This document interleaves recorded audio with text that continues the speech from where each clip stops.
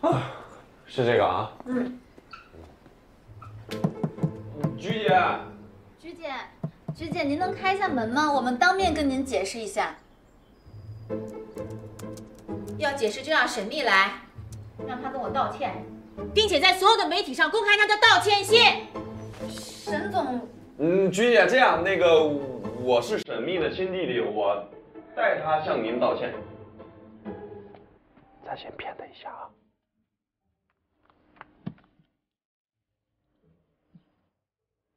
行吗，徐姐？你怎么证明你是他弟弟？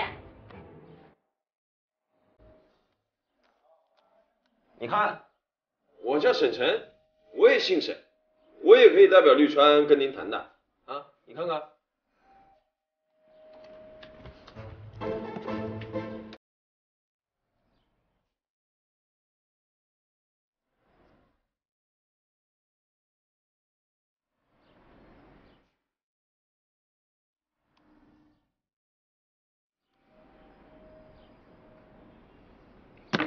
群骗子！绿川根本就没有沈晨。依我看啊，现在唯一的办法就是沈秘出面道歉。一个大头鬼！这要是让绿川知道了，是因为我们医院影响到他们生育了，你猜他会不会让沈秘撤资？真的是。辛辛苦苦四十年，一朝回到解放前。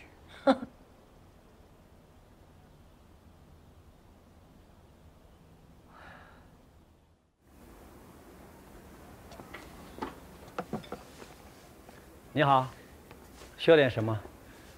哎，这个质量蛮好的。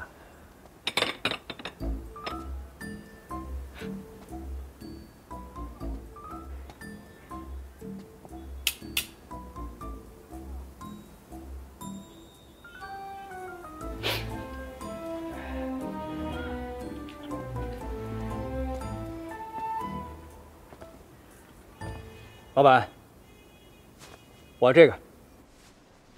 菊姐，呃，我们找过丁丁犬舍的费老板了，他想撇清关系，所以打死也不认这个事儿。那我们也没有办法了。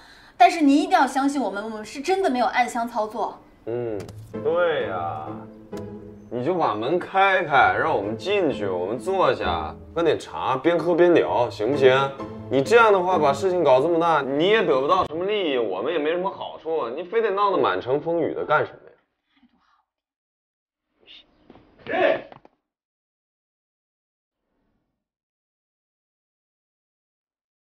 事儿怎么这么多？是，我不得坐电梯啊，五层啊，大哥。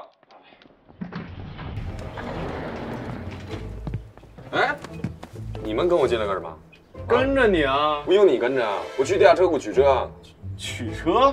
干嘛？我不想有车的，摩托车不是车。哎，别别别别，呃，我们取完车马上就走。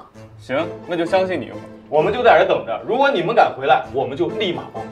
你，你还在这等着？你不就在这上班吗？你在这等着。我警告你俩啊，再回来我们就报警抓人了。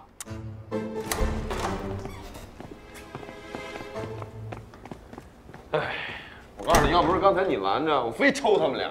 就嘴上能说，那嘴上厉害就不错了。嗯，哎，就剩六个小时了，这都十二点了，那怎么办？那还剩六个小时呢，来得及。来得及，路都没有来得及，飞啊！那沈秘在，他肯定会说来得及，有办法。嘿，他要是有办法，我就把他四个轮胎、四个轮子吃了。轮子来了，你怎么阴魂不散啊？天天开个小饭盒啊？我们俩被菊姐赶出来了，还剩六个小时了，怎么办？还剩六个小时，不还有时间吗？你看我说什么来着？他就说，行了，别闹了。这个文章呢，是菊姐三年前发布到公众号上的，我昨天找了一晚上才找到。然后你看一下这个，这只边牧呢叫贝贝，和费老板卖给菊姐的那只，不管是从体型、花色，基本上都是一模一样。所以菊姐把对以前那只边牧所有的思念，全部都寄托在了这只贝贝的身上。所以贝贝三年前已经死了，她花了三年的时间找了一个替代品，她不希望他出任何问题，所以她从主观上呢完全屏蔽了陈大夫的提醒，这也就是确认偏误。没错。偏什么误？这不边牧吗？那怎么办？你就直接说呀。现在最主要的任务，我们就是要照着这张图找一只一模一样的贝贝。那一模一样的，骑着你小摩托慢点啊！你开着你的小棺小棺材盒慢点。